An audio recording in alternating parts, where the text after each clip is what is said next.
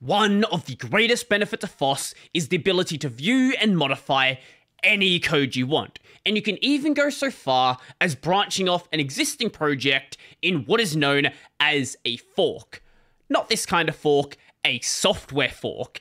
And forking a project is often brought up as a response to basically anything going bad, oftentimes as a joke, but sometimes 100% serious. The dev doesn't want to add a feature you really want, fork the project. The dev is a nightmare to work with, fork the project. The dev is hit by a bus, who is going to run the project? Fork the project. And it's always great to know this exists as an option if there's nothing else that can be done but it probably shouldn't be your go to option. Before going nuclear, it's much better to try to fix the problems within the project. If the dev is a nightmare to work with, maybe you're just a nightmare at explaining your issues. Try to explain things in a cleaner way, try to explain them in a different way, and maybe you'll actually get through to this person. If you really want a feature, if possible, go and implement it yourself if a developer isn't interested in working on something, maybe they'll be interested in having it merged if someone else goes and does it. And if a project seems abandoned, maybe try to get in contact with the maintainer and see if they'll give you maintainer rights. But in some cases, that's simply not possible, in which case, maybe a fork is the best option. But forking a project is a lot easier said than done. Yeah, it's pretty easy to hit the fork button on GitHub or GitLab. Yeah, it's pretty easy to clone the repo using Git directly. But doing this, you haven't really made a fork all you've done is copied the repo. The real fork starts when you start developing it. And like it or not, there are some serious concerns with doing so. If you go into this naively, there are some projects which are effectively unforkable, at least with a hard fork. The best example being the Linux kernel. If you go into the Linux kernel thinking you are going to hard fork that project, good luck with that. If you want to do it, totally fine, but you're going to very quickly realize you've taken on way too much work to actually get anything done. But there are some smaller examples as well, like GIMP, like Krita, like Xorg, even smaller projects than that. Unless you have a team prepared or there is a lot of movement behind doing a hard fork, a great example of this being the movement from XFree86 to Xorg. Nobody wanted to work on XFree86 anymore and worked on this new fork instead. But a lot of other projects are basically dead on arrival. They realize there's just too much work and they end up being abandoned, with the exception of a soft fork like Xenocara to Xorg or the Liquorix or Zen kernel to the Linux kernel.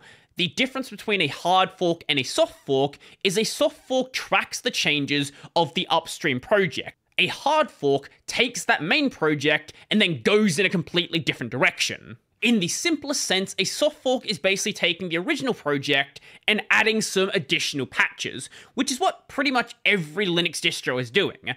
Your Linux kernel is probably not the Torvalds kernel. Your kernel's probably got some additional patches, maybe security patches, maybe feature patches, maybe things have been backported, and that's the kernel you're using. This is basically a soft fork. And if a distro ever backports security patches for any of their applications, that's basically a soft fork of the application as well. And that is a much simpler endeavor than, say, not liking DWM in the state that it currently is, and then hard forking the project into a completely separate tool like Awesome WM. This is something that did happen, and this is one of those rare cases where a fork does make it through the mud and does become viable on its own two legs. Now, DWM and Awesome are two very clearly different projects. DWM has no features, Awesome WM has every feature. Yes, they are both window managers, but the overlap between the two probably isn't that great.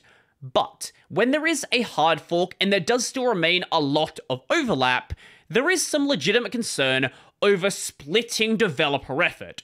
Where initially it might be totally fine, like, hey, here's this exciting new fork, let's all go work on that one what may happen in the long term is it leaves both projects worse off. Instead of having all of the developer effort concerted on this one project, now you have half in both places and neither project is getting maintained really that well. But with that being said, I don't want to discourage people from forking a project if that seems like the best option to go with. Like with that DWM to Awesome example, these are completely different projects with completely different focuses. There is absolutely no world where working within the DWM project is ever going to make it turn into what Awesome WM is today. DWM is a very simple window manager, missing basic features, and you're expected to patch those features in yourself. Awesome WM is this giant window manager with every feature you could ever want, a Lua programming API, and you can make it do absolutely crazy things. That functionality is never going to happen in DWM unless you basically just make the Awesome WM patch and just patch it into DWM. But at that point, why have you not just forked the project? And some forks save a project from demise. Say, for example, developers leave, or maybe developers are kicked out, licenses change, and my two favorite examples being, and if you've watched this channel before, you know exactly where I'm going, PolyMC, the Minecraft client, and XFree86, the Xorg predecessor. So PolyMC was plodding along perfectly fine. Everybody loved it. Nobody really had any problem with it whatsoever except for one person, one of the founders of the project who basically went rogue. He didn't like the politics that were being discussed in the project and basically booted everybody out of the organization. He tried to rebuild the project, but you know, when you lose all your developers, the project is pretty much dead. There was a commit 12 hours ago. And the commits that are happening here are mainly fairly little things. Like, there's a couple of things here and there, maybe a couple of tiny feature changes, but nothing like it was before. And all those devs that got kicked out moved over to another project called Prism MC. And Prism MC is very actively being developed. Like you can see, commits are being made, you know, multiple times a day, multiple commits in a day, and it's just as strong as it was before. As for XFree86, this was at one point the X11 server we used on Linux, but in 2004, the developers of the project had a great idea. So, you know this GPL thing, this license that everybody on Linux seems to be a fan of, the Linux kernel is using. A lot of people have a lot of respect for Stallman. They have a lot of respect for the free software movement and think this is a direction that Linux should be taking. What if we change the license of XFree86 to be incompatible with the GPL? Clearly, nobody liked that. And after some really big people got kicked out of the XFree86 project, this was the last straw that broke the camel's back, and a lot of people moved on to a separate project. That project became Xorg. In one way, both of these projects destroyed the original, but in another, it saved the project for the general users. It took a project that was going to destroy itself and then actually made it viable for years to come. People started developing it, and people then, you know, replaced it in their minds as this is the project that everybody is using. But with all that being said, there are definitely going to be forks which aren't going to be as successful, like Glimpse, the non offensive fork of GIMP, which nowadays has been abandoned, it's all archived, and nobody is working on it.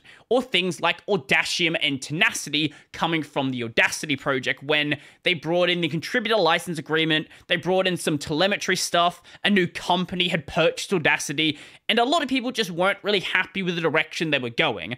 Now, Tenacity does have some level of development and does have a fairly small user base, but it hasn't replaced Audacity in the minds of pretty much anyone. These projects in particular are what are known as protest forks, and I've done a full video explaining what they are and whether they're a good thing and all that stuff, so be sure to go and check that one out. But for now, let me know your thoughts in the comment section down below. Do you think forking is always a good idea? Have you forked a project yourself and have you actually maintained it and made it a good project? Do you think there actually are some projects which are basically unforkable?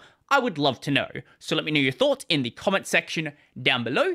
If you liked the video, go like the video. And if you really like the video and you want to become one over these amazing people over here, check out the Patreon, subscribe to the Pay linked in the description down below. That's going to be it for me, and fork this video.